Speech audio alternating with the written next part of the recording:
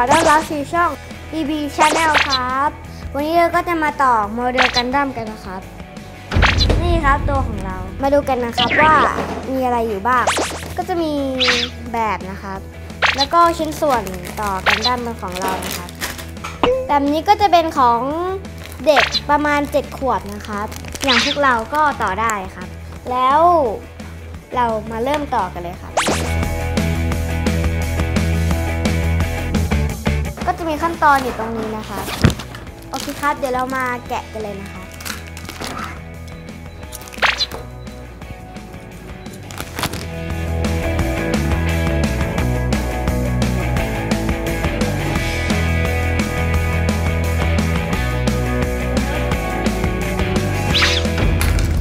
นี่ครับชิ้นส่วนก็มีประมาณนี้นะครั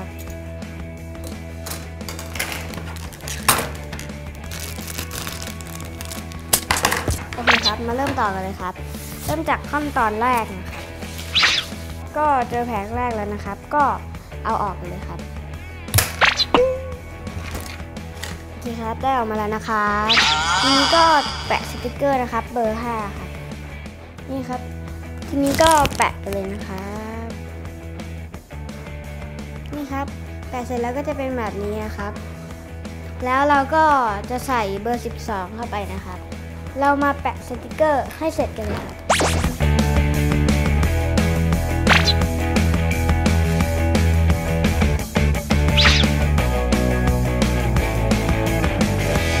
โอเคครับพอเสร็จแล้วเราก็จะแปะสติกเกอร์กันเสร็จแบบนี้นะครับ แล้วเราก็มาต่อขั้นตอนที่ 2 กันนะครับ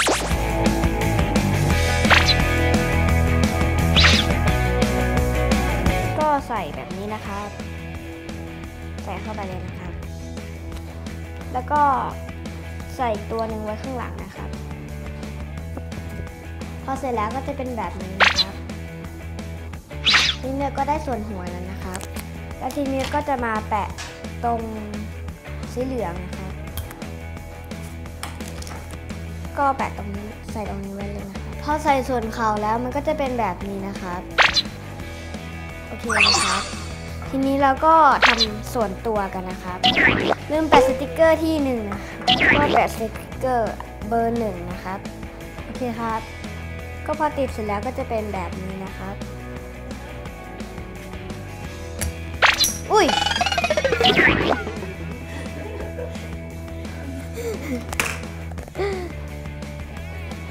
โอเคครับเมื่อกี้ก็เอาออกแล้วกระเด็นไปตรงนู้นเลยนะครับ มาแปะสติกเกอร์กันเลยนะครับ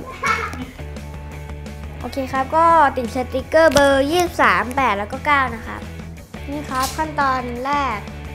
เสร็จแล้วมันก็จะเป็นแบบนี้นะคะ ทีนี้เราก็มาใส่ตัวล็อกนะคะ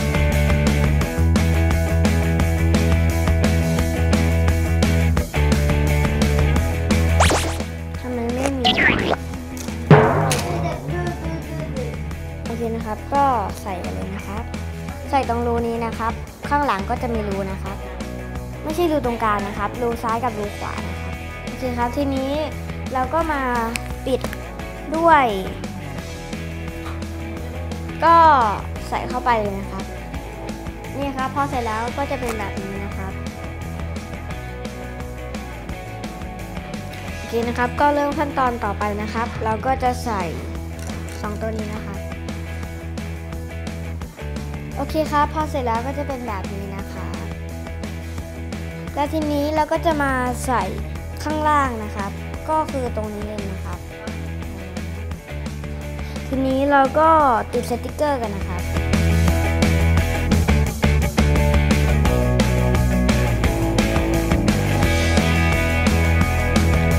โอเคครับพอเสร็จแล้ว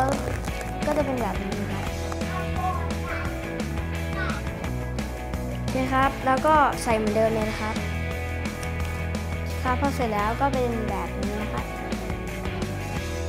ทีนี้ก็จะมาทำส่วนมือกันนะครับ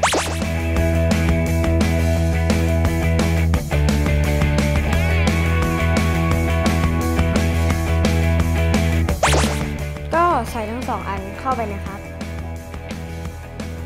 โอเคครับพอเสร็จแล้วก็จะเป็นแบบนี้ นะครับทีนี้แล้วก็ใส่ตัวที่มันคล้ายๆโล่นะครับนี่ครับพอเสร็จแล้วก็จะเป็นแบบนี้เลยนะครับ นี้แล้วก็หักนิดนึงนะครับ เข้าไปแบบนี้นะครับโอเคครับทีนี้ก็ใส่ตัว PC แล้วก็ F นะครับก็แบบนี้นะครับนี่เลยก็จะใส่ตัวมือนะครับ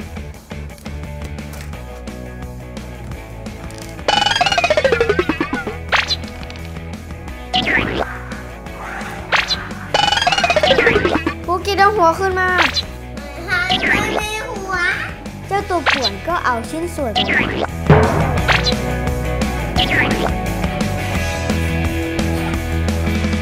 โอเคครับพอเสร็จแล้วก็จะเป็นแบบนี้นะครับ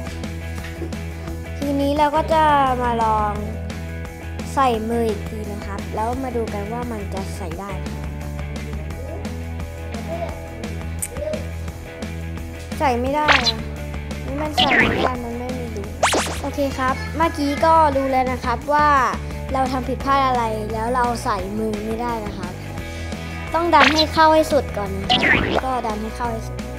โอเคครับ ทีนี้ก็สุดแล้วนะครับ ทีนี้มาใส่มือกันเลยนะครับก็ ใส่เข้าไปแบบนี้ครับ แค่นี้เราก็จะได้มือข้างนึงนะครับโอเคครับทีนี้เราก็มาใส่ตรงสีขาวนะครับนี่ครับพอเสร็จแล้วก็จะเป็นแบบนี้น ก็จะเสร็จแขนข้างหนึ่งนะครับโอเคครับที่เราจะเอาก็คือ PC แล้วก็เบอร์ A นะครับ แล้วก็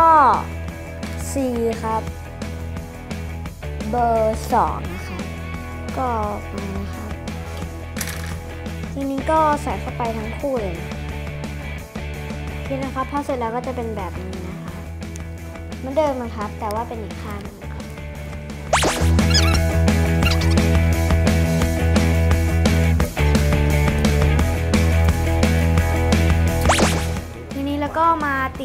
ติดสติกเกอร์กันนะครับ ก็เหมือนเดิมเลยครับ เบอร์ 20 กับเบอร์ 19 เสร็จแล้วก็จะเป็นแบบนี้นะคะโอเคครับ ทีนี้ก็มาใส่มือกับตัวเบอร์ F นี่ครับ พอเสร็จแล้วก็เป็นแบบนี้เลยนะคะโอเคครับ ทีนี้ก็มาใส่ตัวที่เป็น F นะครับ ไว้ข้างบนมือเลยครับ นี่ครับ พอเสร็จแล้วก็จะเป็นแบบนี้นะครับ เคนะครับ ก็ใส่ปุ่มกันเลยนะครับ ก็คือ PC เบอร์ F นะครับ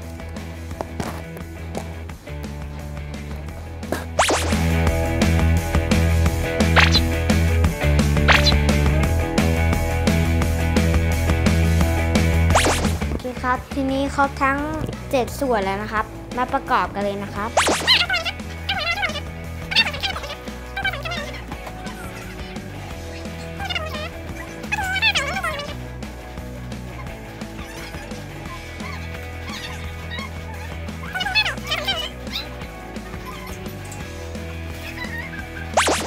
ครับ ได้แล้วนะครับ ตัวแล้วก็ปีกนะครับ ทีนี้เราก็จะมาทำอาวุธของมันนะครับ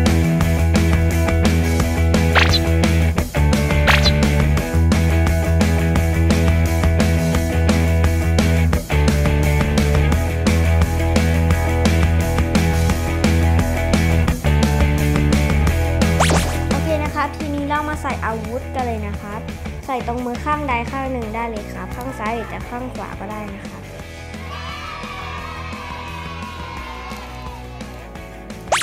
นี่ครับ แค่นี้ก็เสร็จเรียบร้อยแล้วนะครับ